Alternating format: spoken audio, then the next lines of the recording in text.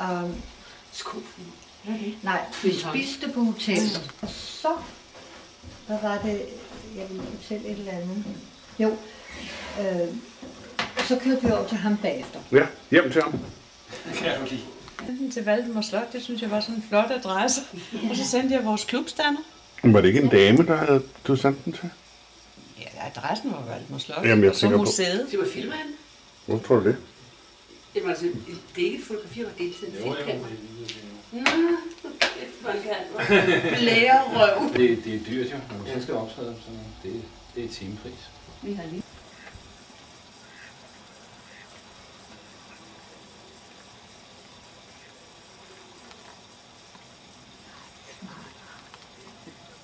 Ja.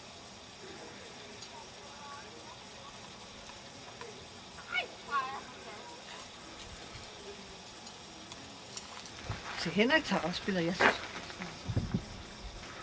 Spiller Altså i morges gik jeg tur.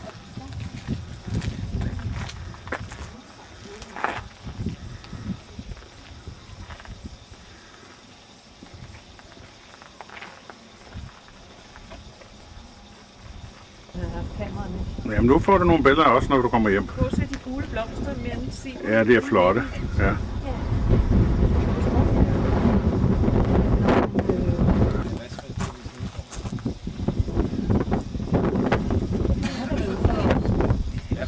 Den 14. april. Ja. Der er meget, han kan lave. Også. Ja, det fortæller. Ja. Der kan du lege. Hold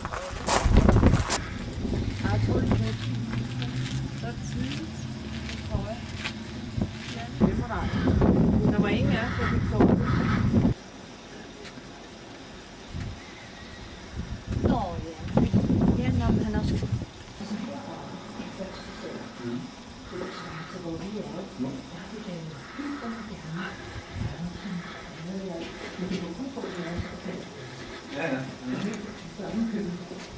Så regner vi med, så kan vi...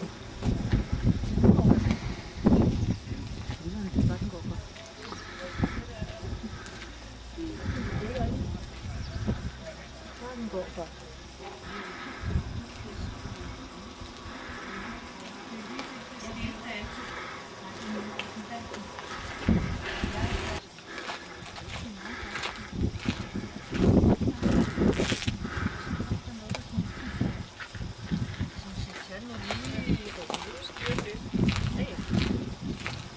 Hej, hej. Goddag,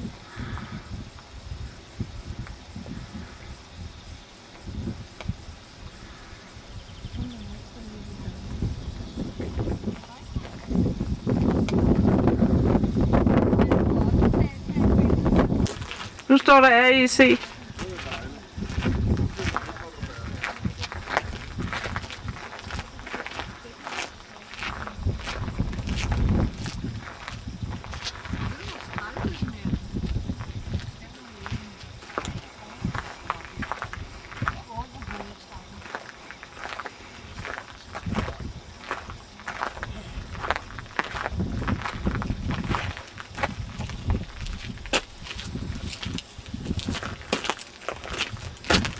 Nå, er, er det... Er det, jeg tror, det er det, der betyder. Er det... Er det... Nå, det, det, det, Det er sødt. Med havet i baggrunden. Eller fjorden må det jo være. Nu må du godt stå. Så holder vi lige en pause. ja. Det er jo ikke? Det det er meget fint. Jeg gik på, jamen jeg vil tro sådan i, i, i, i nutidskroner, der vil, Hvad så flot?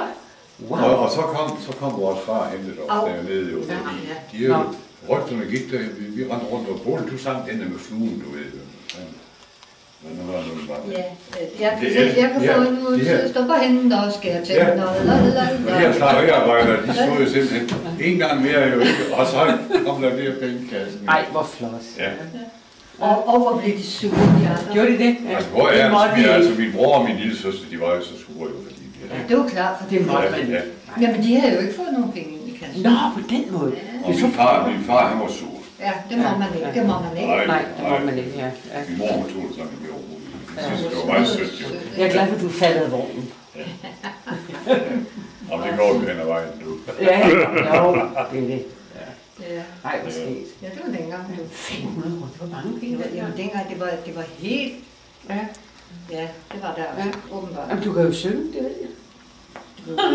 Jo, jo, du få en flue til at stå på hænder, hvis skal jeg tænde og Ja, kan var jeg ja. selv? Ja. Og jeg skreg, og jeg vinede. Har du vaskebær, eller skal jeg Ja, det, det står Øh, jeg nok.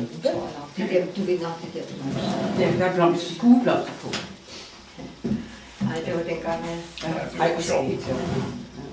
Og for pris, hun har talt om det mange gange. Har hun I det? har været nogle gavtyve. Det var godt. Men han fandt også fræk. Så vil han stikke mig med en kniv, ja. Nej, det kan jeg da ikke. Ja. Nej, jeg ville jo ikke. Det var. Nej, du Nej, bare- det var så Du må bare have, at jeg skal skrige. Ja, Du skulle der, også skrige, det var ikke. ikke. Og jo mere du skreg. år siden, men det var sådan ham. nej tak. Og så, hvad det hedder, og så siger han, "Nå, hvor, mange tønder land har du? Det havde han sgu næsten ikke styr på, men han siger, ja, altså, hvis jeg kører her fra farmen, og så hele arealet rundt, fra tidlig morgenstund Ja. til sen aften, så kan jeg lige nå at komme hjem, før øh, solen går ned. Ikke? Hvor du på cykel eller i bilen. Så, I bilen. nej, det er bilen. Okay. Øh, og så, så øh, og det var altså bare 10 gange mere end, end ham herovre fra Fyn, han havde, ikke? Mindst. Men, han, så, men det der, han siger med, at fra morgen til aften, så tager det mig hele døgnet at komme hjem igen, ikke? Så har han Fynbo der, så siger han, sådan en har jeg sgu da også haft, den er sgu da ikke på et pis, hvad? Jeg sagde, der har været nogle fuldøjer, og ved hvad de har gjort? De har lukket alle kalvene ud. Og det, nej, det var frygteligt, sagde Marianne. Ja. Nej, hvor kan de finde på det? Det har jeg gjort. Jeg kan da godt se sådan en receptionist der, Ja. der sidder og så lige pludselig Ja. ja. drønne. Har de bestilt værelse? Tyr, kalve forbi. Ja, det var det. Det var dengang. Ja, hold da op, ja. Men altså, vi har også været på dyrskole en gang. Ja, ja. Og vi skulle gennem nogle båse for at komme op på scenen, jamen. ja. Og vi havde stiletter i hånden. Ej, jeg tror, vi har haft sjovt. Ja, og du får man kende også. Ja. Ja, men der er ikke nær så meget som Bull. Bull er mankenen. Jeg, jeg var med nogle år i Danmark, så flyttede jeg udenlands. Og det er så også sket jo. Niels Juhl Hortorp, som jo har kørt det sammen med Molise jo mange år jo, de er, de er pensionister i dag jo. Og så Niels Stærre, den ældste Karoline hedder hun, hun har så overtaget for ja, efterhånden jo ikke.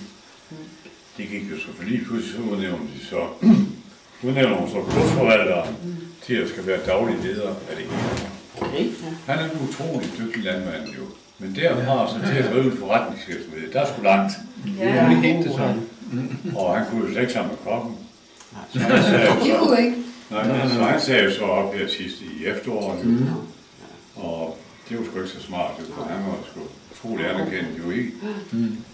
Så derfor så har man så lavet øh, nu et arrangement, så er hun klar over, at nu måtte hun skulle læge, skulle lukke slottet jo. Og det var hun faktisk ved at gøre. Fordi, fordi de har penge nok, jo. de behøver sgu ikke. De, Jo, kan, det er de, kan godt lukke slottet og sige, okay, det er så privat. Det er det engelske blod, der kom ind der. Ja, fordi hans mands familie er meget velhavende jo. Men det hørte de forskellige turistorganisationer. Så, Ja, og det har jo været et trækplads i masser af år, når det var slået jo ikke. Så laver man så til Svendborg jo, som er ejet af Halberg-familien. Det er jo tobaksfabrikken inde i Svendborg, jo, som er boet i. jo. Så har man så lavet et arrangement med, som oprettet et nyt selskab, hvor Halberg-familien er repræsenteret, og Hotel Svendborg, og så Karoline. Det er familie til ven. Altså, ejerne over nu, som så skal køre hele museumsdriften. Det er vi så spændt på, hvordan det kommer til at gå.